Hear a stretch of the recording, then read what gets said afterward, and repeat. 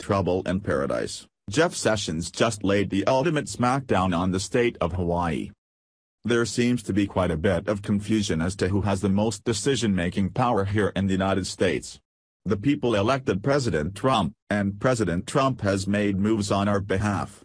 Unfortunately, those who decided that he is not their president are trying to circumvent the way our system works.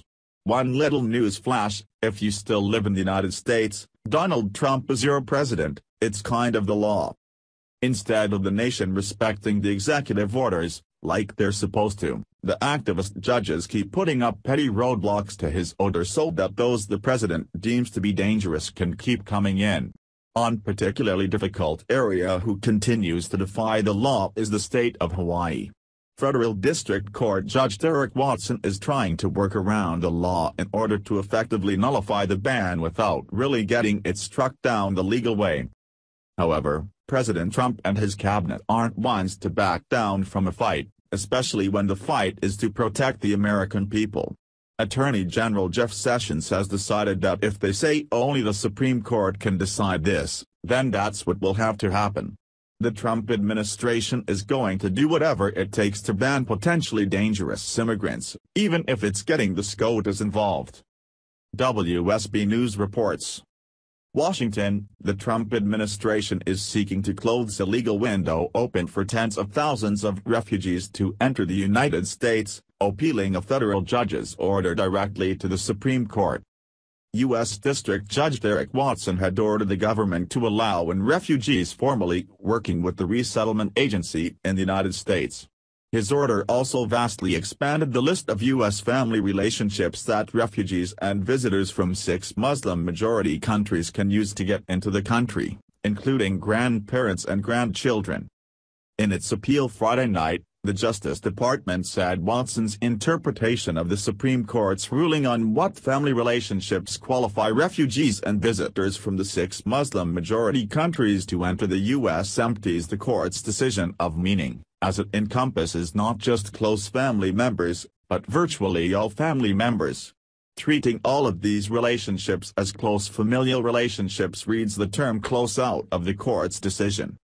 Only the Supreme Court can decide these issues surrounding the travel ban, the Justice Department said. Only this court can definitively settle whether the government's reasonable implementation is consistent with this court's stay, it said. The long, tangled legal fight is expected to culminate with arguments before the nation's High Court in October.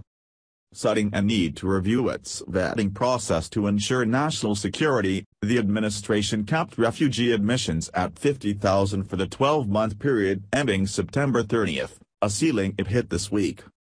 The federal budget can accommodate up to 75,000 refugees, but admissions have slowed under Trump, and the government could hold them to a trickle, resettlement agencies say. Attorney General Jeff Sessions had said the administration would ask the Supreme Court to weigh in, bypassing the San Francisco-based Ninth U.S. Circuit Court of Appeals, which has ruled against it in the case. The Supreme Court allowed a scaled-back version of the travel ban to take effect last month.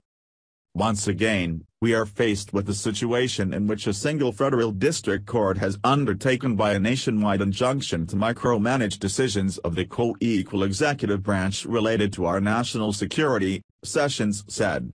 By this decision, the district court has improperly substituted its policy preferences for the national security judgments of the executive branch in a time of grave threats the administration took a first step by filing a notice of appeal to the Ninth Circuit, allowing it to use a rule to petition the High Court directly. There was no timetable for the Supreme Court to act, but the administration sought quick action to clarify the court's June opinion. The justices now are scattered during their summer recess, so any short-term action would come in written filings.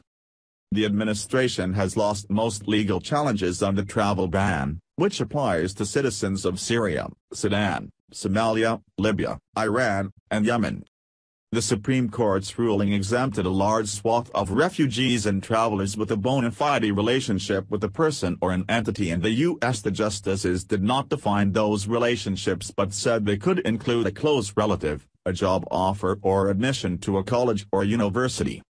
The Trump administration defined the relationships as people who had a parent, spouse, fiancé, son, daughter, son-in-law, daughter-in-law or sibling already in the U.S.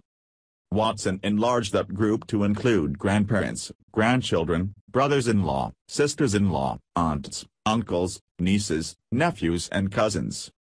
Hawaii Attorney General Douglas S. Chin, who sought the broader definition, said Thursday's ruling makes clear that the U.S. government may not ignore the scope of the partial travel ban as it sees fit. Family members have been separated and real people have suffered enough, Chin said. The bleeding hearts have their emotional and irrational arguments in full swing as they attempt to avoid the legally imperative process by which we keep this country safe. The rest of the world has bought into these illogical laws and become the playground of the petty warlords who wish to conquer and destroy other lands now that they've destroyed their own. Is it possible that President Trump went overboard with his travel ban? I suppose it's possible. I mean, there's not a huge chance that any particular one of us will be in the wrong place at the wrong time and get blown to bits by someone who came to this country with no loyalty to anyone other than their bloodthirsty God. But then again, the president made the best decision with the information that he had at the time, which is a heck of a lot more information than we have. He was elected to protect us, to preserve our country, serve our best interest, not anyone else's, so better safe than sorry. Thanks for watching. Please subscribe Breaking News 365 channel. Goodbye and see you again.